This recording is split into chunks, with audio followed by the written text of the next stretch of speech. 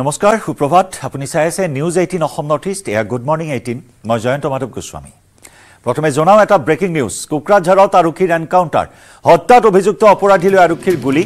আৰক্ষীৰ গুলীত আহত হয় হত্যাকাৰী শম্ভু কাহাৰ। পশ্চিমবংগৰ পৰা আৰক্ষীয়ে গ্ৰেপ্তাৰ কৰিছিল শম্ভু কাহাৰক। শম্ভুৰ বিৰুদ্ধে থানাত আছে বহুকেইটা গোচৰ। তপন চক্ৰৱৰ্তী নামৰ অৱসৰপ্ৰাপ্ত অভিযন্তাক হত্যা কৰিছিল শম্ভুৱে। শম্ভুৰ আক্ৰমণত গুৰুতৰভাৱে আহত হৈছিল তপন চক্ৰৱৰ্তীৰ পত্নীও। ভৰিত গুলীবিদ্ধ শম্ভু কাহাৰক চিকিৎসালয়ত ভৰ্তি কৰোৱা হৈছে। কোকৰাঝাৰৰ চাঞ্চল্যকৰ হত্যাকাণ্ডৰ খলনায়ক মূল অভিযুক্ত শম্ভু কাহাৰৰ এনকাউণ্টাৰ। হত্যাত অভিযুক্ত অপৰাধীলৈ আৰক্ষীৰ গুলীচালনা আৰক্ষীৰ গুলীত আহত হ'ল হত্যাকাৰী শম্ভু কাহাৰ। কোকৰাঝাৰ চহৰৰ মাজমজিয়াত এটা লোমহৰ্ষক হত্যাকাণ্ড সংঘটিত হৈছিল। এহাল বৃদ্ধ দম্পতীক টাৰ্গেট কৰিছিল দুৰ্বৃত্তই। চোকা দাৰে ঘপিয়াই হত্যা কৰিছিল কৃষি বিভাগৰ অৱসৰপ্ৰাপ্ত অভিযন্তা তপন চক্ৰৱৰ্তী আৰু তেওঁৰ পত্নী অৱসৰপ্ৰাপ্ত প্ৰধান শিক্ষয়িত্ৰী মধুমিতা চক্ৰৱৰ্তী। জীয়ৰী থাকে আমেৰিকাত পুত্ৰ থাকে বেংগালুৰুত অকলশৰীয়া দম্পতীক এনেদৰে আক্ৰমণ চলাইছিল আৰু এই হত্যাকাণ্ডৰ আঁৰত শম্ভুৰ হাত থকাৰ অভিযোগ উত্থাপন হৈছিল পশ্চিমবংগৰ পৰা গ্ৰেপ্তাৰ কৰা হৈছিল শম্ভুক আৰু শম্ভুৰ বিৰুদ্ধে থানাত বহুকেইটা গোচৰ ইতিমধ্যেই ৰুজু হৈ আছে। দম্পতীক আক্ৰমণৰ মূল অভিযুক্ত শম্ভুৰ এনকাউণ্টাৰৰ খবৰ এই মুহূৰ্তত আমি জনাইছো। কোকৰাঝাৰত নিশা সংঘটিত হৈছে এই এনকাউণ্টাৰ। হত্যাত অভিযুক্ত অপৰাধীলৈ আৰক্ষীৰ গুলীচালনা। বৰ্তমান হাস্পতালত ভৰ্তি কৰোৱা হৈছে ভৰিত গুলীবিদ্ধ শম্ভু কাহাৰক।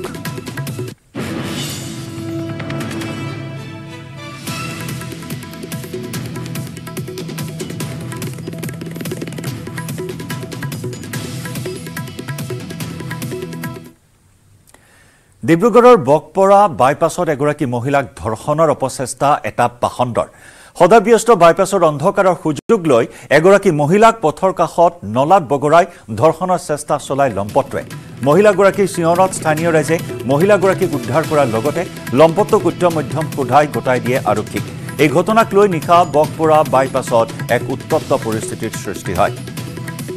ডিব্ৰুগড়ৰ বকপৰা বাইপাছত এগৰাকী মহিলাক ধৰ্ষণৰ অপচেষ্টা এই লম্পটটোৰ এই পাখণ্ডটোৰ সদাব্যস্ত বাইপাছৰ অন্ধকাৰৰ সুযোগ লৈ এগৰাকী মহিলাক পথৰ কাষৰ নলাত বগৰাই ধৰ্ষণৰ চেষ্টা চলাই লম্পটটোৱে। মহিলাগৰাকীৰ চিঞৰত স্থানীয় ৰাইজে মহিলাগৰাকীক উদ্ধাৰ কৰিছে লগতে লম্পটটোক কৰায়ত্ব কৰি উত্তম মধ্যম সোধাই আৰক্ষীক গতাই দিয়ে। ঘটনাক কেন্দ্ৰ কৰি অঞ্চলটোত তীব্ৰ উত্তেজনাই বিৰাজ কৰে এক উত্তপ্ত পৰিস্থিতিৰ সৃষ্টি হয়।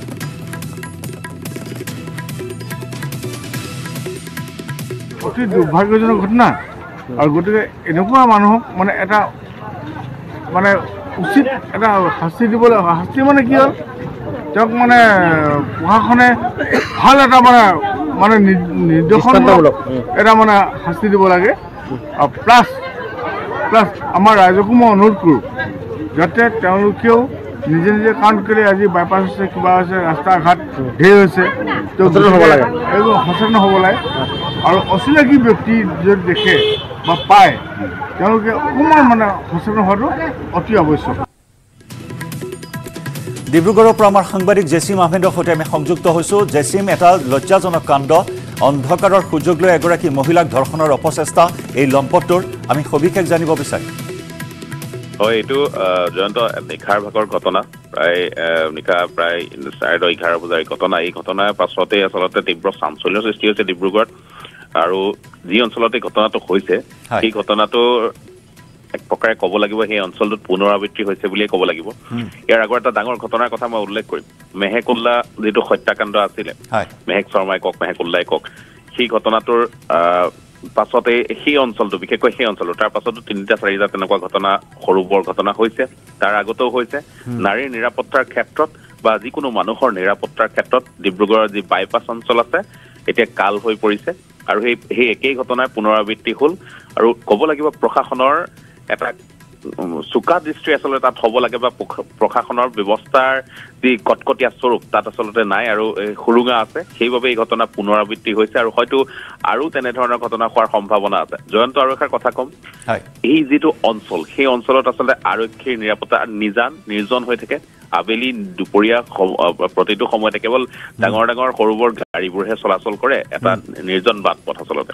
সেই এনেধৰণৰ ঘটনা হোৱাটো স্বাভাৱিক। কাৰণ এই এইবোৰ ঘটনা আমাৰ যদিও ভদ্ৰ সমাজ কিন্তু এইবোৰ ঘটনা হৈয়ে থাকে ক'বলৈ গ'লে।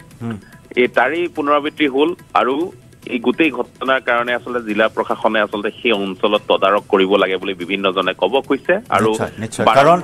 কাৰণ। জেচিম এটা নিৰাপত্তাহীনতাত ভোগা কথা আপুনি যিখিনি কথা ক'লে যে নিৰ্জন এই স্থায়ীত অন্ধকাৰৰ সুযোগ লৈ ইয়াৰ পূৰ্বেও এনে বহু ঘটনা সংঘটিত হৈছিল কিন্তু এই ক্ষেত্ৰত আৰক্ষী প্ৰশাসনে কিয় নিৰ্লিপ্ত ভূমিকা গ্ৰহণ কৰিছে সেয়া এটা লক্ষণীয় গতিকে পৰৱৰ্তী সময়ছোৱাত যাতে এই স্থানত নিৰাপত্তাৰ দিশটো কিছু চাই আৰক্ষী প্ৰশাসনে তাৰ বাবে সচেতন ৰাইজে এই মুহূৰ্তত দাবী উত্থাপন কৰিছে কিন্তু জেচিম এই মুহূৰ্তত জানিব বিচাৰিম লম্পটটোৰ পৰিচয় কি?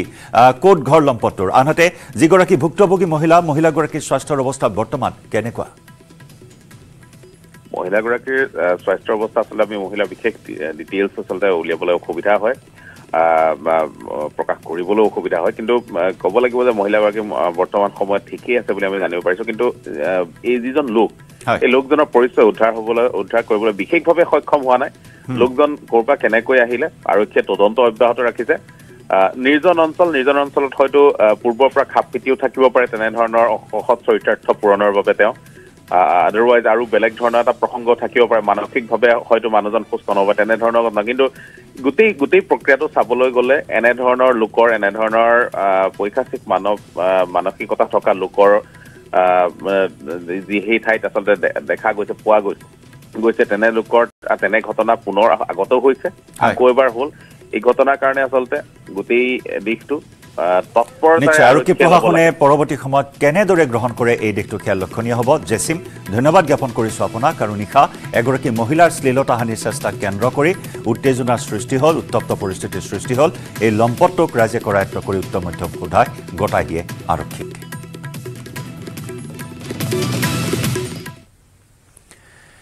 এখন গৰু ভৰ্তি গাড়ীক কেন্দ্ৰ কৰি জাগিৰোডৰ জাগি ভকত গাঁৱত নিশা উত্তপ্ত পৰিস্থিতি। গাড়ীখনত আছিল পঞ্চাছটাতকৈ অধিক চোৰাংভাৱে অনা গৰু। ঘটনাস্থলীত আৰক্ষী আৰু স্থানীয় ৰাইজৰ মাজত বাকযুদ্ধ। গৰু কঢ়িওৱা গাড়ীখনক এস্কৰ্ট দি আনিছিল এখন বিলাসী বাহনে। চোৰাং গৰু সৰবৰাহকাৰীক আৰক্ষীয়ে ৰক্ষণাবেক্ষণ দি অহাৰ অভিযোগ উত্থাপন কৰিছে স্থানীয় ৰাইজে। ৰাইজৰ প্ৰশ্নত ঘটনাস্থলীৰ পৰা আৰক্ষীৰ শীৰ্ষ বিষয়াৰ পলায়নৰ চেষ্টা চেষ্টা কৰাৰো অভিযোগ উত্থাপন কৰে ৰাইজে। পৰিস্থিতি নিয়ন্ত্ৰণৰ বাবে ঘটনাস্থলীত আৰক্ষী আৰু অৰ্ধসামৰিক বাহিনী মোতায়েন কৰিবলগীয়া পৰিস্থিতিৰ সৃষ্টি হয়।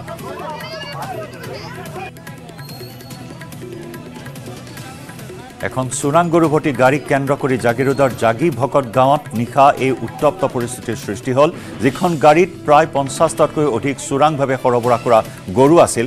ঘটনাস্থলীত আৰক্ষী আৰু ৰাইজৰ মাজত বাকযুদ্ধৰ সূত্ৰপাত হ'ল। গৰু গৰু কঢ়িওৱা গাড়ী এখনক এস্কৰ্ট দি আনিছিল এখন বিলাসী বাহনে। এয়া স্থানীয় লোকৰ অভিযোগ। চোৰাং গৰু কঢ়িওৱা এখন গাড়ীক এস্কৰ্ট দি আনিছিল এখন বিলাসী বাহনে। চোৰাং গৰু সৰবৰাহকাৰীক আৰক্ষীয়ে ৰক্ষণাবেক্ষণ দি অহাৰ অভিযোগ উত্থাপন কৰিছে স্থানীয় ৰাইজে। ৰাইজৰ প্ৰশ্নত ঘটনাস্থলীৰ পৰা আনকি আৰক্ষীৰ শীৰ্ষ বিষয়াই পলায়ন কৰাৰ চেষ্টা কৰাৰো অভিযোগ উত্থাপন কৰিছে ৰাইজে। অৰ্থাৎ অপৰাধীক সম্পূৰ্ণ ৰক্ষণাবেক্ষণ দি আহিছে আৰক্ষীয়ে। আৰক্ষীৰ বাহনে হয়তো এস্কৰ্ট দি আহিছিল। এই অভিযোগ এই মুহূৰ্তত স্থানীয় ৰাইজে উত্থাপন কৰিছে। পৰিস্থিতি এনেকুৱা পৰ্যায় পাই গৈ যে নিয়ন্ত্ৰণ কৰিবৰ বাবে ঘটনাস্থলীত অৰ্ধসামৰিক বাহিনীও মোতায়েন কৰিবলগীয়া পৰিস্থিতিৰ সৃষ্টি হয়। অপৰাধীৰ সৈতে আৰক্ষীৰ মিতিৰালিৰ এক গুৰুতৰ অভিযোগ এই মুহূৰ্তত উত্থাপন কৰিছে স্থানীয় ৰাইজে।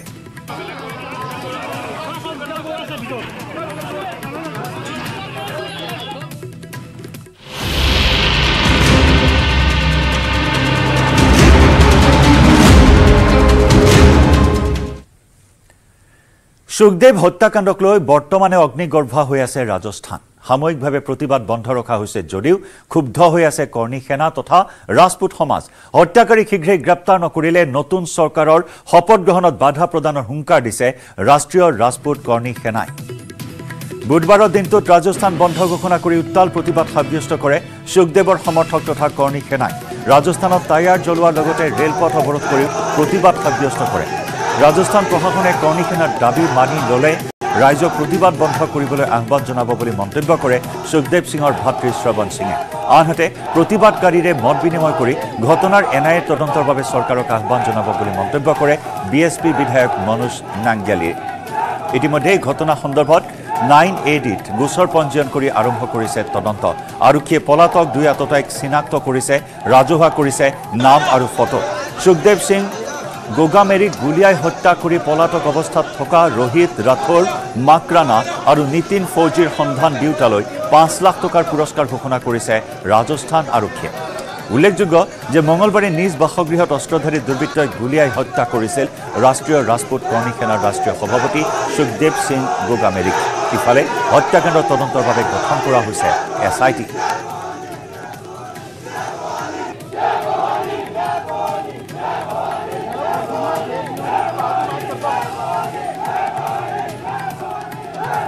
दर्ज करवाने का मतलब ही ये था सरकार पे इतना भयंकर दबाव कर रखा था ये जो सारे जो आज जन से लाभ उबड़ा है, उनको मैं सुखदेव सिंह गोगामेडी बोलूँगा।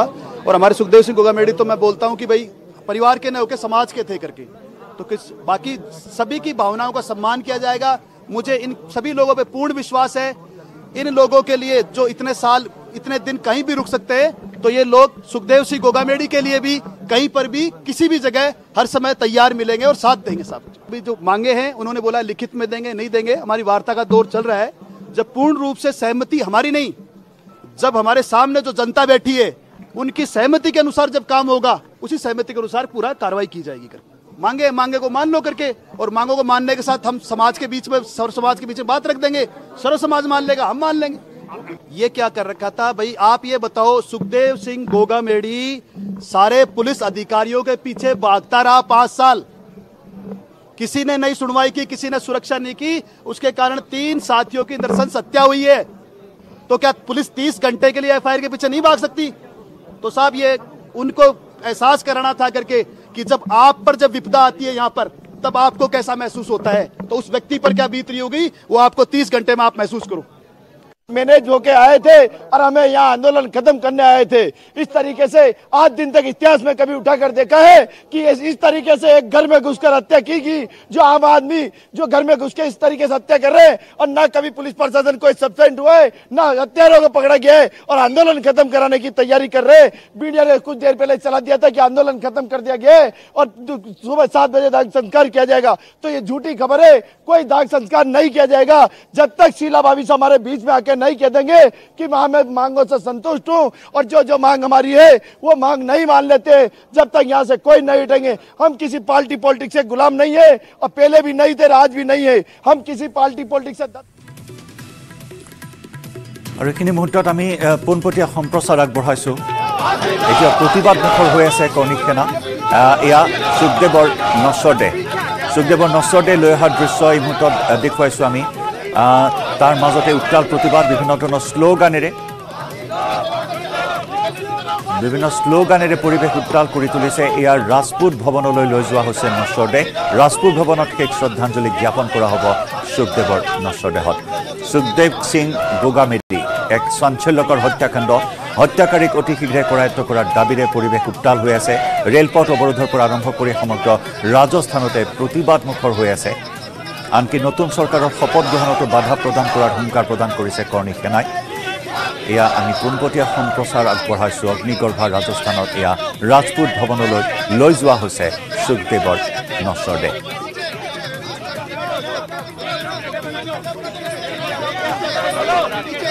ইতিমধ্যে দুই হত্যাকাৰীক চিনাক্ত কৰা হৈছে ফটো পৰিচয় সকলো ৰাজহুৱা কৰা হৈছে। দুই হত্যাকাৰীৰ পৰিচয় ৰাজহুৱা কৰাৰ লগে লগে আৰক্ষীয়ে ৰাইজলৈ আহ্বান জনাইছে সন্ধান দিওঁতালৈ পাঁচ লাখ টকাৰ পুৰস্কাৰ ঘোষণা কৰিছে ৰাজস্থান আৰক্ষীয়ে।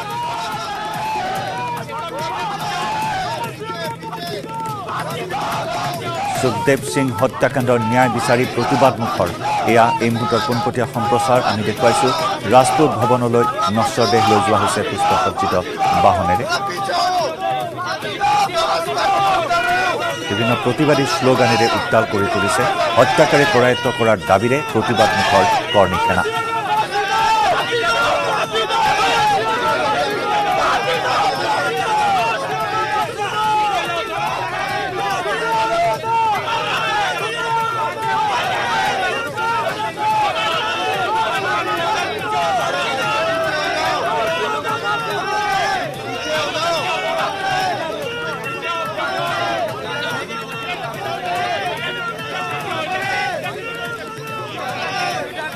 আৰু সুখদেৱ হত্যাকাণ্ডৰ পাছতে আন কিছু বিস্ফোৰক তথ্য সন্মুখলৈ আহি আছে।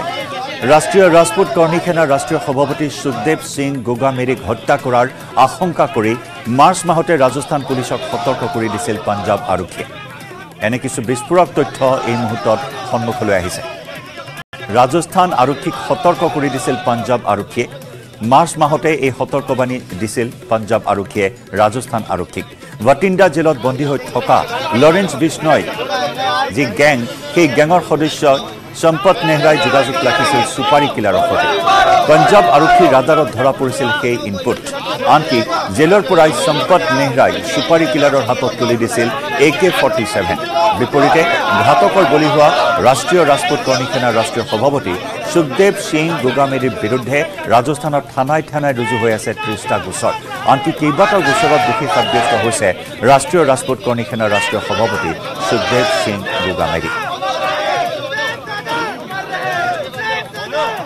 লৰেঞ্চ বিষ্ণয় গেঙেই এই হত্যাকাণ্ড সংঘটিত কৰাৰ এই মুহূৰ্তত কিছু তথ্য সন্মুখলৈ আহিছে। পৰিস্থিতি ক্ৰমাৎ উত্তেজিত হৈ আছে এই মুহূৰ্তত। আমি ৰাজস্থানৰ পৰিৱেশ দেখুৱাইছোঁ। সমগ্ৰ ৰাজস্থান উত্তাল হৈছে প্ৰতিবাদত। জয়পুৰ এই মুহূৰ্তত জনজীৱন বিপৰ্যস্ত হৈ পৰিছে বন্ধৰ বাবে। জয়পুৰত ৰাজস্থানৰ বহু অঞ্চলত প্ৰতিবাদ ৰেলপথ অৱৰোধ কৰি প্ৰতিবাদ সাব্যস্ত কৰিছে। আনকি নতুন চৰকাৰৰ শপত গ্ৰহণত বাধা দিয়াৰো হুংকাৰ প্ৰদান কৰিছে কৰ্ণী সেনাই। হত্যাকাৰীক অতি শীঘ্ৰেই গ্ৰেপ্তাৰ কৰিবলৈ আনকি সময়সীমা বান্ধি দিছে কৰ্ণী সেনাই। ৰোহিত ৰাথোৰ মাক্ৰানা আৰু নীতিন ফৌজি দুই হত্যাকাৰীক চিনাক্ত কৰা হৈছে। দুই হত্যাকাৰীৰ ফটো পৰিচয় সকলো ৰাজহুৱা কৰি সন্ধান দিওঁতালৈ পাঁচ লাখ টকাৰ পুৰস্কাৰো ঘোষণা কৰিছে আৰক্ষীয়ে।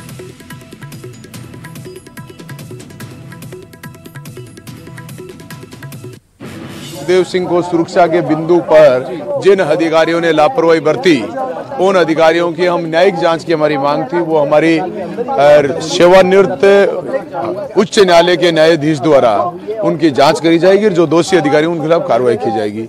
हम एनआईए से जाँच कराने के पर बात थी हमारी एनआईए जाँच के लिए अभिशंसा करने के लिए हमारी इस मामले में गवर्नर साहब से और माध्यम से बात हो गई तो वो भी होगा। आ, परिवार को सुरक्षा परिवार को लाइसेंस और इस मुकदमे को जब तक चले तब तक सारे गवाहों को सुरक्षा दी जाए।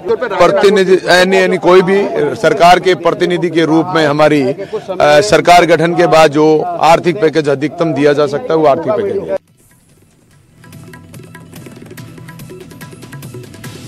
আমি পোনপটীয়া দৃশ্য আগবঢ়াইছোঁ। ৰাজপুত ভৱনলৈ নচৰদে লৈ যোৱা যোজা চলোৱা হৈছে। তাতে অন্তিম শ্ৰদ্ধাঞ্জলি জ্ঞাপন কৰা হ'ব। ইতিমধ্যে লৰেঞ্চ বিষ্ণয় গেঙে হত্যা কৰাৰ কিছু তথ্য প্ৰকাশ কৰা হৈছে। পাঞ্জাৱ আৰক্ষীয়ে মাৰ্চ মাহতে ৰাজস্থান আৰক্ষীক এই বিষয়ে ইনপুট দিছিল যে এনেকুৱা ধৰণৰ ভাবুকি আহিব পাৰে। কাৰণ জেলৰ পৰাই লৰেঞ্চ বিষ্ণয় গেঙে এই পৰিকল্পনা গ্ৰহণ কৰিছিল। সুখদেৱ সিঙক হত্যা কৰিবলৈ। আৰু ইয়াৰে প্ৰতিবাদত বিজেপিৰ কাৰ্যালয় পৰ্যন্ত ঘেৰাও কৰি কৰ্ণী সেনাই প্ৰতিবাদ সাব্যস্ত কৰিছে। বিজেপিৰ কাৰ্যালয় ৰাজস্থানৰ বিজেপিৰ কাৰ্যালয়তো প্ৰতিবাদ সাব্যস্ত কৰি কাৰ্যালয় লণ্ডভংগ কৰিছে কৰ্ণী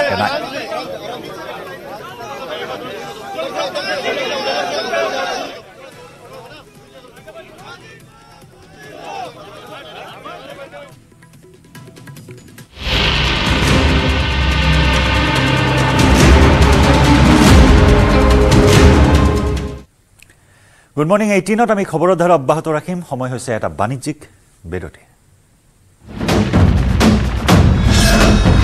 ভাৰতৰ গৌৰৱ গোটেই বিশ্বতেই। ইয়াৰ সন্মান ষ্ট্ৰং মানে মাইথান ষ্টীল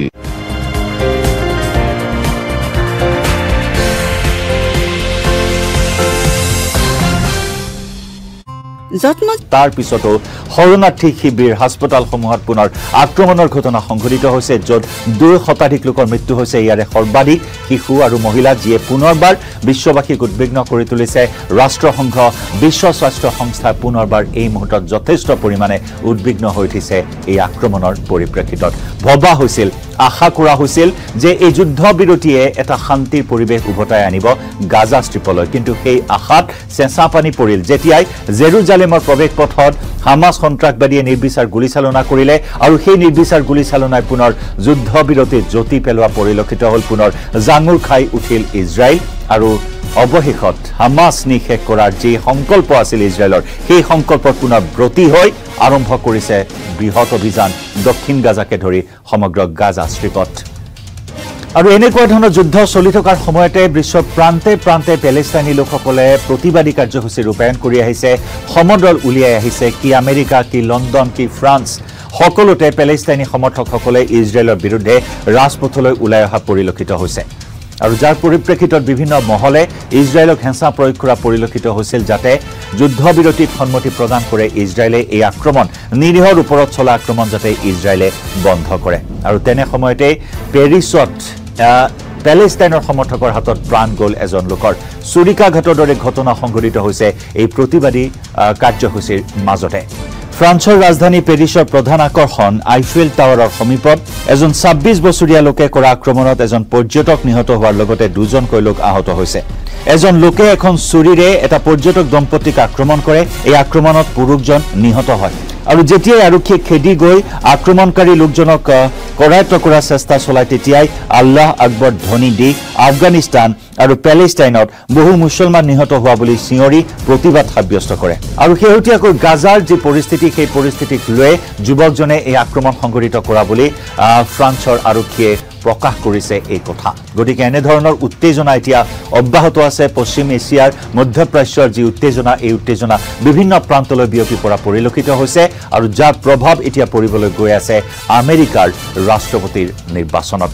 গাজা ষ্ট্ৰীপত হামাছ আৰু ইজৰাইলৰ এই যুদ্ধক লৈ বিভিন্ন মহলে আমেৰিকাক ইয়াৰ পূৰ্বে অভিযোগ উত্থাপন কৰি আহিছিল। ইৰাণৰ পৰা আৰম্ভ কৰি বিভিন্ন দেশে প্ৰত্যক্ষ অভিযোগ আনিছিল। আমেৰিকাৰ বিৰুদ্ধে আমেৰিকাক সকীয়াই আহিছিল। আহ, কাৰণ আমেৰিকাৰ নিৰ্দেশতে আল চিফা হস্পিটেলত ইজৰাইলে আক্ৰমণ চলাৰো অভিযোগ উত্থাপন হৈছিল কাৰণ আমেৰিকাৰ পৰাই আহিছিল খবৰ ৱাশ্বিংটনৰ পৰাই খবৰ আহিছিল। হোৱাইট হাউচৰ মুখপাত্ৰই খবৰ দিছিল যে আল চিফা হস্পিটেলতে হামাছৰ সুৰংগ আছে। আল চিফা হস্পিটেলতে হামাছে কাৰ্যালয় স্থাপন কৰি যুদ্ধ ৰণচালী প্ৰস্তুত কৰে। অপাৰেটিং অফিচ আছে হামাছৰ এই আল চিফা হস্পিটেলত আৰু যাৰ বাবে Israel defence forces Al Shifa hospital ঘেৰি লৈ অৱৰোধ কৰি ভয়ংকৰ আক্ৰমণ সংঘটিত কৰিছিল। যি আক্ৰমণত শিশুকে ধৰি চিকিৎসাধীন বহু ৰোগীয়ে প্ৰাণ হেৰুৱাবলগীয়া হৈছিল। তাতো আমেৰিকাৰ বিৰুদ্ধে সৰব হৈছিল আমেৰিকাৰ প্ৰত্যক্ষ হস্তক্ষেপ থকাৰ কথা উল্লেখ কৰি ইৰাণকে ধৰি বিভিন্ন মুছলমান দেশে সৰব হৈ উঠা পৰিলক্ষিত হৈছিল আমেৰিকাৰ বিৰুদ্ধে। গতিকে ইছলামিক শক্তিসমূহ একগোট হৈ উঠিছিল আমেৰিকা আৰু ইজৰাইলৰ বিৰুদ্ধে আৰু তেনে সময়তে এইবাৰ ৰাষ্ট্ৰপতি নিৰ্বাচনত জো বাইডেনক ইজৰাইল আৰু হামাছৰ যুদ্ধৰ মূল के सफर का सरताज हूँ मैं शहर से गांव तक सड़कों का मोहताज हूँ मैं आ रहा हूँ मैं आसाम की सड़कों पर कुमार इंजीनियरिंग का नया ताज हूँ coming soon Kumar engineering we understand your need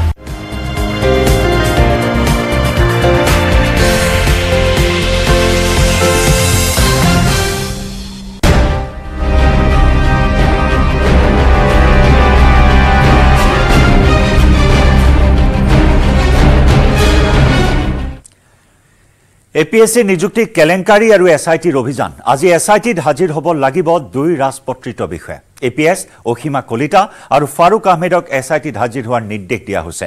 নলবাৰীৰ প্ৰাক্তন বিধায়ক মদন কলিতাৰ কন্যা অসীমা কলিতা। ফাৰুক আহমেদৰ উত্তৰ বহীত বঢ়াই দিয়া হৈছিল ছয় সত্তৰ নম্বৰ। ছশ নব্বৈ ঠাইত ফাৰুকে লাভ কৰিছিল সাতশ ছয়াশী নম্বৰ। অসীমা কলিতাই জালিয়াতিৰে লাভ কৰিছিল এ পি এছৰ পদ। অসীমাক প্ৰয়োজন হৈছিল ছয়ত্ৰিছ নম্বৰত। অসীমাৰ ঐচ্ছিক বিষয়ত বৃদ্ধি কৰা হৈছিল নম্বৰ।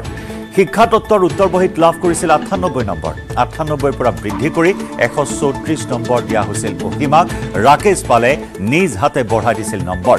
ইমানখিনি তথ্য প্ৰমাণ আছে কিন্তু অসীমা কলিতাক এতিয়াও চাকৰিৰ পৰা নিলম্বন কৰা হোৱা নাই। অসীমা কলিতাৰ প্ৰতি গৃহ বিভাগৰ এই দৰত কিয় সমান্তৰালকৈ কোকৰাঝাৰৰ এ এছ পি নৱনীতা শৰ্মাৰ প্ৰতিও গৃহ বিভাগৰ দৰত কিয় এই তাকে লৈ এই মুহূৰ্তত ৰহস্য ঘনীভূত হৈছে? অসীমা কলিতা নৱনীতা শৰ্মাক এতিয়াও নিলম্বন কৰা হোৱা নাই আৰু তাৰ মাজতে অসীমা কলিতা আৰু ফাৰুক আহমেদক আজি এছ আই টিত হাজিৰ হ'বলৈ নিৰ্দেশ দিয়া হৈছে।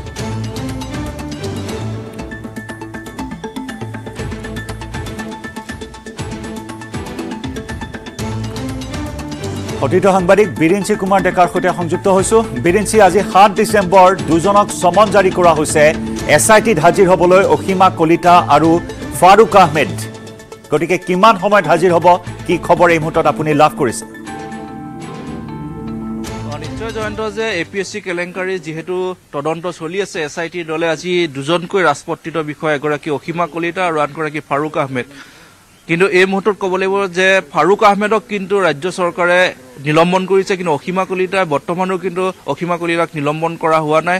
তেওঁৰ বিৰুদ্ধে কোনো ধৰণৰ ব্যৱস্থা গ্ৰহণ কৰা হোৱা নাই। কিন্তু অভিযোগ কিন্তু একেই। ফাৰুক আহমেদে যেনেধৰণে বক্ৰ পথেৰে চাকৰি লৈছিল অসীমা কলিতাইও সেই একেই অভিযোগ আছে। কিন্তু তেওঁক এই মুহূৰ্তলৈকে নিলম্বন কৰা নাই। আজি দুয়োগৰাকী ইয়াত হাজিৰ হোৱাৰ যিহেতু সময় আছে কিন্তু এই মুহূৰ্তলৈকে হাজিৰ হোৱা নাই কোনো এগৰাকী ৰাজপত্ৰিত বিষয়া। আৰু দেখা পোৱা গৈছিল যে তিনিদিন পূৰ্বে যিহেতু সুকন্যা দাস নৱনীতা শৰ্মা আৰু কল্যাণ কুমাৰ দাস হাজিৰ হৈছিল একেই অভিযোগ তেওঁলোকৰ বিৰুদ্ধে আছিল কিন্তু তাৰে দুগৰাকীক সোধপোছৰ অন্তত যাব দিয়া হ'ল আৰু সুকন্যা দাসক ইয়াতে গ্ৰেপ্তাৰ কৰা হ'ল। আৰু পৰৱৰ্তী সময়ত ইয়াত দেখা পোৱা গৈছে ডিজিপি গৰাকী এটা কথা কৈছে যে বিভাগীয় তদন্তৰ কথা কৈছে আৰু আনটো যি অপৰাধজন অপৰাধমূলক যি তদন্তৰ কথা কৈছে যে যদি কোনো এনেধৰণৰ ৰাজপত্ৰিত বিষয়াৰ বিৰুদ্ধে এনেধৰণৰ যি অভিযোগ উঠিছে সেইসকলক আচলতে বিভাগীয়ভাৱে তদন্ত কৰিব আৰু যদি বিভাগীয়ভাৱে তদন্তৰ ক্ষেত্ৰত যদি কোনো ধৰণৰ আচলতে এনেধৰণৰ বিসংগতিৰ যি তথ্য যদি নাপায় তেন্তে সেইসকলে পুনৰ কিন্তু কাৰ্যনিৰ্বাহ কৰিব পাৰিব। কিন্তু তাৰ বিপৰীতে যিসকলৰ বিৰুদ্ধে এতিয়া ক্ৰিমিনেল যিটো প্ৰচিডিং কৰাৰ কথা কোৱা হৈছে সেইসকল ইতিমধ্যে গ্ৰেপ্তাৰ হৈছে বা তেখেতসকল তাৰে তিনিগৰাকী ইতিমধ্যে জেললৈ প্ৰেৰণ কৰা হৈছে। গতিকে এই ক্ষেত্ৰত এটা কথা কোৱা হৈছে যে এৰা ধৰা যিটো নীতি আচলতে চৰকাৰে গ্ৰহণ কৰিছে। যোৱাকালিৰ দিনটোতো মুখ্যমন্ত্ৰীগৰাকীয়ে এটা কথা কৈছে স্পষ্টকৈ কৈছে যে এ পি এছ চিৰ ক্ষেত্ৰত তেওঁ কোনো ধৰণৰ মন্তব্য নিদিয়ে। ইয়াৰ পৰা এটা কথা বুজা যায় যে সমগ্ৰ বিষয়টোক লৈ যেন ক'ৰবাত এটা প্ৰশ্নবোধকৰ চিন আহি পৰিছে। কিয়নো ডি জি পিগৰাকীয়ে এই মুহূৰ্তত এটা কথা স্পষ্ট কৰি কোৱা নাই যে আচলতে কাক কাক গ্ৰেপ্তাৰ কৰিব কাক কাক যাবলৈ দিয়া হ'ব। আৰু দেখা পোৱা গৈছিল যে নৱনীতা শৰ্মাৰ ক্ষেত্ৰত যি অভিযোগ সুকন্যা দাসৰ ক্ষেত্ৰত যি অভিযোগ অসীমা কলিতাৰ বা ফাৰুক আহমেদৰ একেই অভিযোগ।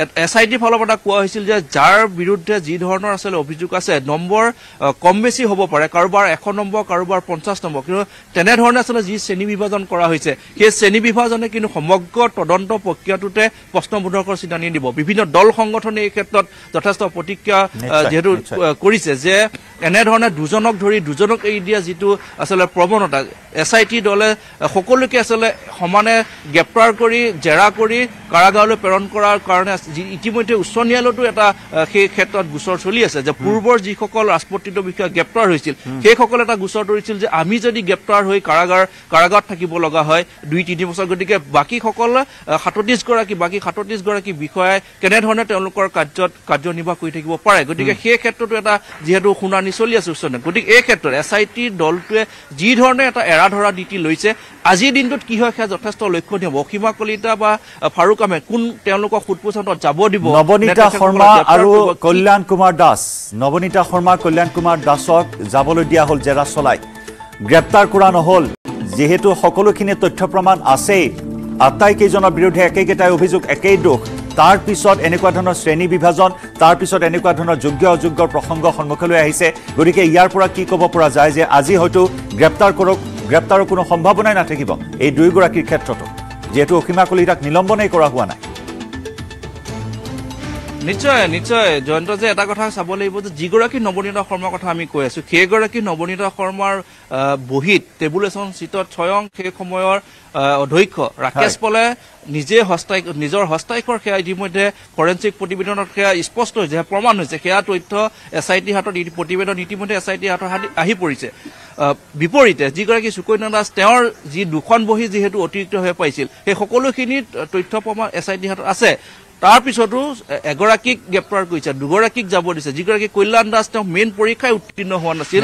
তেওঁ কেৱল ফিলিমছ পাছ কৰি মেইন পৰীক্ষাত তেওঁ বহিছিল। আৰু তেওঁক বহু নম্বৰ ইতিমধ্যে ৰাকেশ পালে বহাই দিছিল। কেৱল টকাৰ বিনিময়ত সেই সকলোখিনি হৈছে। গতিকে এনে ক্ষেত্ৰত দুগৰাকীক যাব দিয়ে এগৰাকীক ধৰে বা আজিৰ ক্ষেত্ৰত আজিৰ দিনটোত কি কৰে? অসীমা কলিতা যিহেতু এই মুহূৰ্তলৈকে কোকৰাঝাৰ কৰিমগঞ্জৰ যি পোন্ধৰ নং এ পি বি এন আছে তাৰ যিহেতু এছিষ্টেণ্ট কমাণ্ডেণ্ট হিচাপে তেওঁ আছে। গতিকে এই ক্ষেত্ৰত তেওঁৰ বিৰুদ্ধে আজি কি ধৰণৰ ব্যৱস্থা? ফাৰুক আহমেদ নিলম্বিত হৈছে। তেওঁক আজি কি কৰে সেয়া কিছু সময়ৰ কাৰণে আমি ৰখিব লাগিব কাৰণ এছ আই টিৰ তেওঁক আজি তেওঁলোক ইয়াত হাজিৰ হয়তো আজিও সেই একেখন ছবিয়েই দেখিবলৈ। পোৱা যাব তাৰ বাবে আমি অপেক্ষা কৰিব লাগিব। হয়তো অসীমাক এৰি দিয়া হ'ব ফাৰুকক ধৰা হ'ব সেই একে এৰা ধৰাৰ ছবিখনেই হয়তো দেখিবলৈ পোৱা যাব। কিন্তু নৱনীতা শৰ্মাৰ ক্ষেত্ৰত যদি চোৱা হয় বিভাগীয় তদন্তৰ কথা কোৱা হৈছে। গতিকে বিভাগীয় তদন্তৰ জৰিয়তে এক প্ৰকাৰ ৰক্ষণাবেক্ষণ দিয়াৰে এটা কৌশল নেকি বিৰেঞ্চি তেনেধৰণৰ প্ৰশ্নৰ অৱকাশ হোৱাটো স্বাভাৱিক। নিশ্চয় জয়ন্ত যে যিটো বিভাগীয় যিটো তদন্ত হয় সেই তদন্তত কিন্তু আচলতে কিছুদিনৰ বাবে কাৰোবাক নিলম্বন কৰি ৰাখে। কিন্তু চাকৰিৰ পৰা যি ধৰণে আচলতে এইসকল ৰাজপত্ৰিত বিষয়াক বি কে শৰ্মা আয়োগে স্পষ্টভাৱে উল্লেখ কৰিছে যে এই এইসকল ৰাজপত্ৰিত বিষয়া তেওঁলোকে তেওঁলোকৰ যি পদবীত আছে সেই পদবীত থকাৰ যোগ্য নহয়। তেনে ক্ষেত্ৰত যদি বিভাগীয়ভাৱে তদন্ত হয় নিশ্চয়কৈ নৱদিনৰ সময়ত কিছুদিনৰ বাবে তেওঁ হয়তো কামত তেওঁ থাকিব নোৱাৰিব বা তেওঁক নিলম্বন কৰিব চৰকাৰে। পৰৱৰ্তী সময়ত কিন্তু তেওঁ পৰৱৰ্তী সময়ত আইনৰ ক্লিন কোনো চিট কাৰণে প্ৰদান কৰি পুনৰ চাকৰি দিয়া হ'ব চাকৰি আগবঢ়াই দিয়া হ'ব ৰঙা দলিচা পাৰি দিয়া হ'ব। বিৰিঞ্চি সংযুক্ত হৈ থাকক এটা ব্ৰেকিং নিউজ এই মুহূৰ্তত আমি জনাই ল'ব বিচাৰিম। এ পি এছ চিৰ কেলেংকাৰীৰ নিযুক্তি কেলেংকাৰীৰ তদন্ত অব্যাহত আছে। এছ আই টি তালিকাত থকা বিষয়া যাব নোৱাৰিব বহিৰাজ্যলৈ বহিৰাজ্যলৈ যাব লগা হ'লে অনুমতি ল'ব লাগিব এছ আই টিৰ তালিকাত থকা ৰাজপত্ৰিত বিষয়াৰ ওপৰত এছ আই টিৰ তীক্ষ্ণ নজৰ। এছ আই টিৰ হাতত তালিকাত থকা বিষয়াৰ মোবাইল নম্বৰ ঠিকনা আছে। যিকোনো মুহূৰ্তত গ্ৰেপ্তাৰ হ'ব পাৰে কেইবাজনো অভিযুক্ত। এ পি এছ চি কেলেংকাৰীৰ তদন্ত সন্দৰ্ভত শেহতীয়া খবৰ এছ আই টি তালিকাত থকা বিষয়া কোনেও যাব নোৱাৰিব বহিৰাজ্যলৈ। বহিৰাজ্যলৈ যাবলগীয়া হ'লে অনুমতি ল'ব লাগিব এছ আই টিৰ তালিকাত থকা ৰাজপত্ৰিত বিষয়াৰ ওপৰত তীক্ষ্ণ নজৰ ৰাখিছে এছ আই টিয়ে এছ আই টিৰ হাতত আছে এইসকল ৰাজপত্ৰিত বিষয়াৰ মোবাইল নম্বৰ আৰু ঠিকনা যিকোনো মুহূৰ্তত গ্ৰেপ্তাৰ হ'ব পাৰে কেইবাজনো অভিযুক্ত।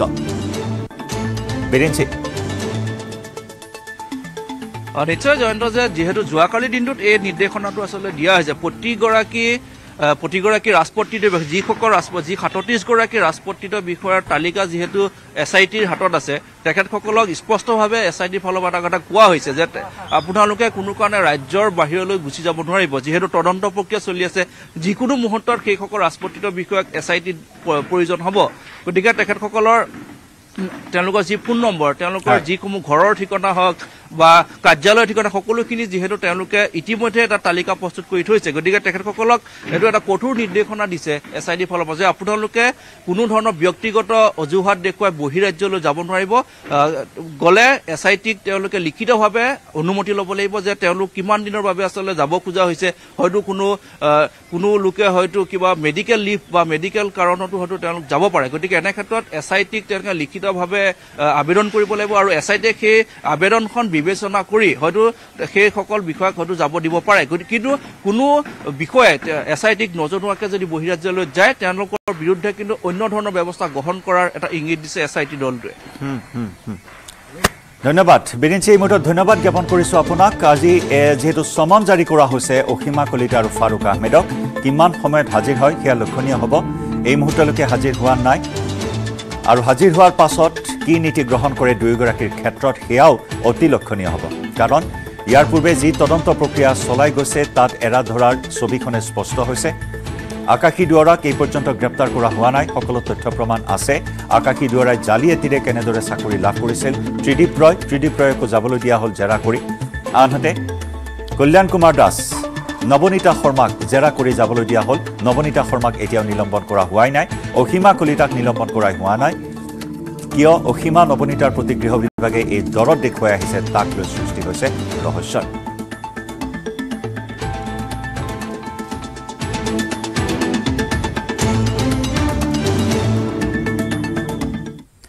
গুড মৰ্ণিং এইটিনত আমি আৰম্ভণিতে আপোনাক জনাইছিলোঁ কোকৰাঝাৰত আৰক্ষীৰ এনকাউণ্টাৰৰ খবৰ হত্যাত অভিযুক্ত অপৰাধীলৈ আৰক্ষীৰ গুলীচালনা আৰক্ষীৰ গুলীত আহত হত্যাকাৰী শম্ভু কাহাৰ যি শম্ভু কাহাৰে এহাল বৃদ্ধ দম্পতীক আক্ৰমণ কৰিছিল এজন লোকক হত্যা কৰিছিল।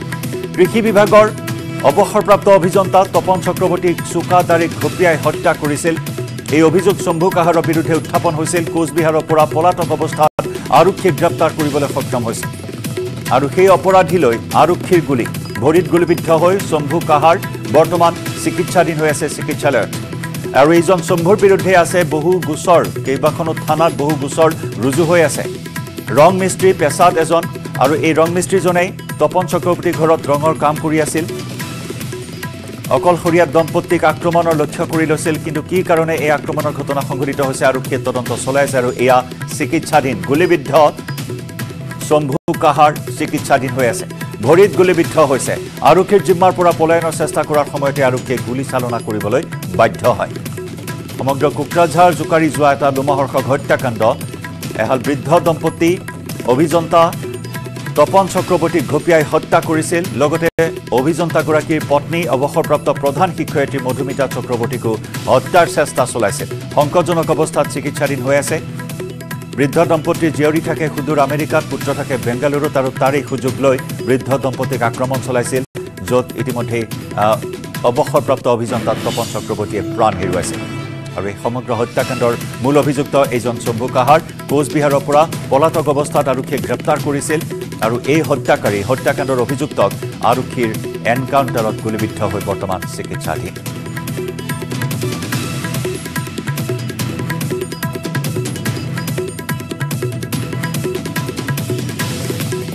আহিছিলে ৰাতিপুৱা বাৰটা আঠাৱন্নত। শম্ভু কাহাৰ নামটো তেখেত থাৰ্টি টু ইয়াৰ্ছ লেফ্ট ছাইডৰ ভৰিত গুলি লাগিছে। আৰু এটাই গুলি লগা মই দেখা পাইছোঁ। আৰু লেফ্ট ছাইডত গুলিটো সোমাইছে ভৰিখনৰ আৰু মিডিয়েল ছাইডত গুলিটো ওলাই গৈছে। আৰু ব্লিডিং আছিলে এইখিনি আমি ধৰ ইনজেকশ্যন আৰু চিলাই দিব লগা হৈছে দি আমি ব্লিডিংটো বন্ধ ৰাখিছোঁ। এতিয়া আমি এক্স ৰে এখন কৰিম। এক্স ৰে এখন কৰিলে কিবা ফৰেন বডিৰ ভিতৰত আছে নেকি আমি গম পাম। যদি কোনো ফৰেন বডি নাই তেখেতৰ তেতিয়াহ'লে কোনো চিৰিয়াছনেছ নাই আৰু। আৰু পেচেণ্টটো বৰ্তমান ষ্টেবল হৈ আছে। কোনো তেখেতৰ এতিয়া অসুবিধা পোৱা নাই। ঠিকে আছে বৰ্তমান ষ্টেবল আছে। আৰু আমাৰ মইতো ইমাৰ্জেঞ্চি ডক্টৰ মই ইমাৰ্জেঞ্চি হিচাপে যিখিনি আমি ট্ৰিটমেণ্ট দিব পাৰোঁ আমি গোটেইখিনি দিয়া হৈ গৈছে। আৰু আমাৰ ছাৰজনক মাতিছোঁ এতিয়া ছাৰজনে আহি চাই পেলাই বাকীখিনি মেনেজ কৰি দিব আৰু। যিখিনি প্ৰব্লেম আছে সেইখিনি মেনেজ কৰিব।